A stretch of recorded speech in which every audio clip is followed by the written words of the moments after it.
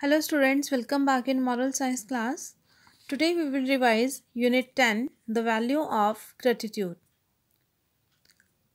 Very first these are the these can come as a true false. Are you aware of the importance of gratitude? Yes. Is expressing gratitude a good habit? Yes. Do you use the word thank you for often? Yes. Do you thank God for everything? Yes. Fifth, does gratitude help us somehow? Yes. Is gratitude related to love? Yes. Is gratitude related to happiness? Yes. Do you feel good when you express gratitude? Yes.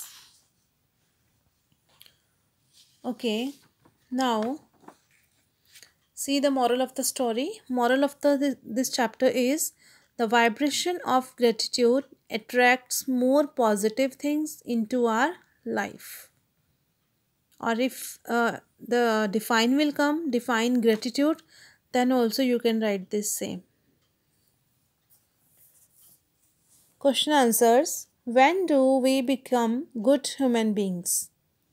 We can become good human beings when we have a deep sense of gratitude for whatever we receive in life. Second question What should be the motivation behind our actions? Answer Thankfulness should be the motivation behind our actions.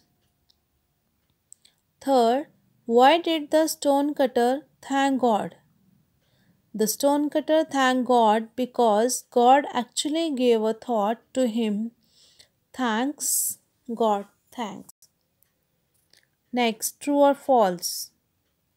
Gratefulness, a gratefulness is a noble virtue. It's true. Actions should be motivated by thankfulness. This is also true.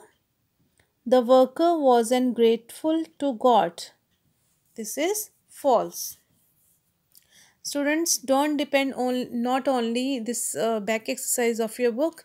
You should must thoroughly from the chapters also you should learn the word to word and sentence to sentence. Okay.